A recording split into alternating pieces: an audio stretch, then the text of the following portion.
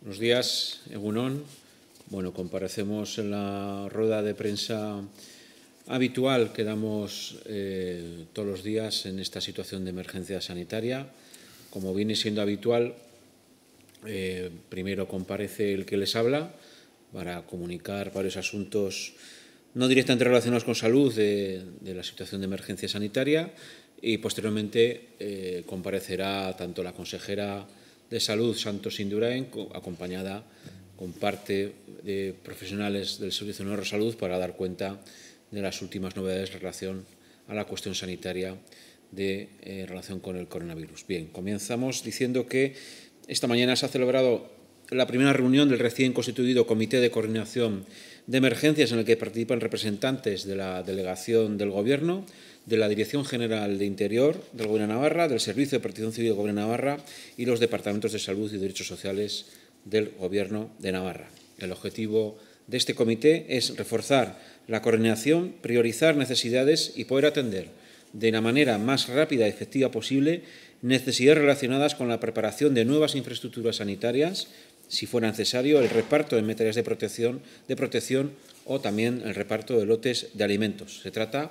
de conocer las demandas que establezcan en este sentido los departamentos de salud y derechos sociales para activar y programar los recursos disponibles tanto del Estado, a través de la delegación del Gobierno, a través en concreto de la Unión Militar de Emergencias, como del Gobierno de Navarra, a través de los servicios de la Dirección General de Interior y, en particular, de la de Protección Civil, una vez conocidas estas necesidades, se identificarán las más urgentes para poder organizar y gestionar de manera eficiente los recursos, agrupaciones de voluntarios de la DIA y Cruz Roja, así como del Servicio de Bomberos, y así la actividad queda programada y se atiende de forma coordinada. Actualmente, Protección Civil está coordinando el reparto de lotes del Banco de Alimentos en distintas localidades de la comunidad foral, una tarea de distribución en la que participan tanto bomberos de Navarra como diferentes agrupaciones voluntarias de varias localidades, con la previsión de llegar a más de 4.500 personas en distintos puntos del territorio foral. Los beneficiarios, por lo general, son personas ancianas con dificultades para abastecerse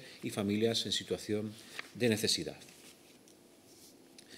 Pasando ya a otra cuestión, con el objetivo de dar respuesta a todas las dudas y consultas que están surgiendo estos días entre la ciudadanía navarra por la situación generada por la epidemia del coronavirus, el Gobierno de Navarra ha reforzado su servicio de atención centralizada para aquellas consultas de carácter no sanitario. Todas las consultas y llamadas que no sean de emergencia o que no sean de carácter sanitario se deben realizar a través del Servicio de Atención a la Ciudadanía, el teléfono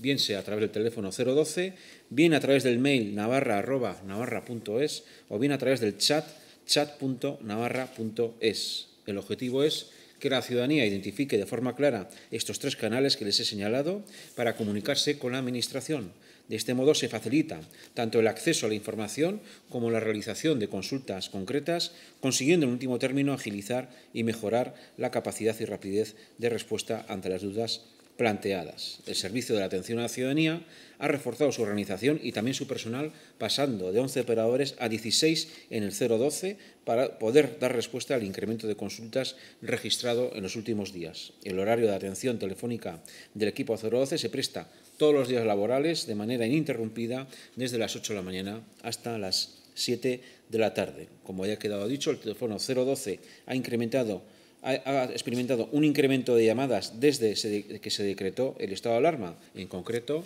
hasta el 31 de marzo inclusive se han atendido un total de 11.455 llamadas y el equipo del 012 ha respondido una media diaria de 1.041 llamadas.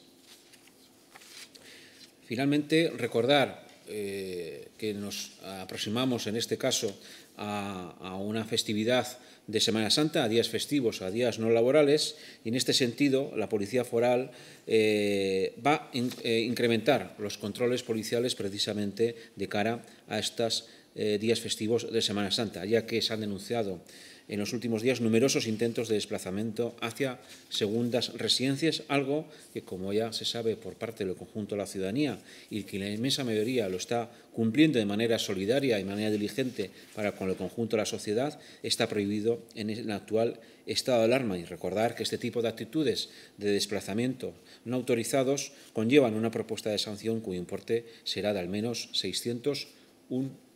En este sentido, resaltar como se ha dicho, que la inmensa mayoría de la población está cumpliendo con su obligación, está siendo solidaria con el conjunto de la sociedad, pero también, en este caso, la plantilla de la Policía Foral va a reforzar su presencia en estos días previos y durante estos días festivos, precisamente para garantizar que se cumplan las disposiciones de movilidad y para evitar, evidentemente, lo que nos interesa a todos, que es preservar la salud pública y reducir al mínimo, al mínimo, al mínimo, al mínimo posible la situación de, de contagios.